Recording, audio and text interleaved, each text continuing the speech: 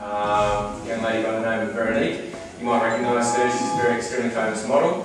Um, and uh, I'd just like to pass it over to Veronique, who will be saying a few words.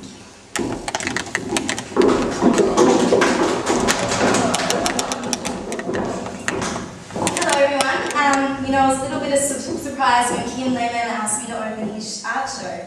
I don't really have much of a connection to art, attending the occasional exhibition opening maybe. But as Kim reminded me, I am quite famous, and it is always good if you can have a famous person open your art exhibition. So I said yes, I'd do it, and here I am. But I did say to him I wanted to talk a little bit about how I felt about how the art and a bit about that. So I'd like to do a proper opening talk. A short one, you'll be happy to hear. So I've spent quite a bit of time here at Poimena before you all arrived, looking around. And the that I thought that the art around us was slightly strange, really.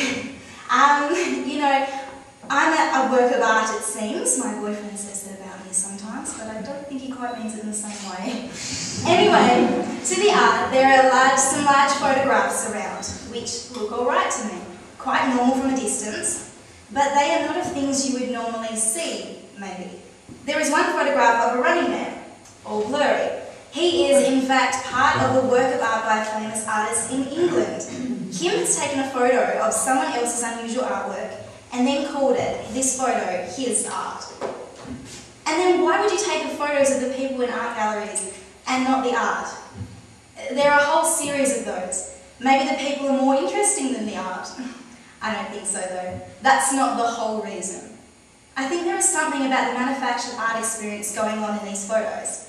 Like people just walk around the galleries and take a photo or two and leave without even thinking about the whole thing very much. As well, I think that Kim is also asking us to think about what the art actually can be, apart from nice things on walls. It can be photos of people standing in art galleries, getting their photos taken. It can be all sorts of things. Like those chairs over there. They are really sketches of two people, one called Benjamin and one called Elspeth. If they were really drawn with a pencil or something, there would be a few lines here and there, some of shading and stuff. But they're not drawn. They are real chairs and a few random belongings. Is that a bad thing? No, I don't think so. I think Kim wants us to be inside an art show where everything is not quite normal, where things are slightly wrong.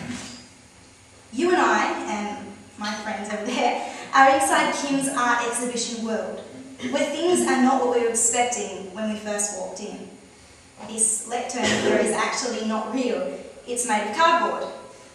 Am I a real person?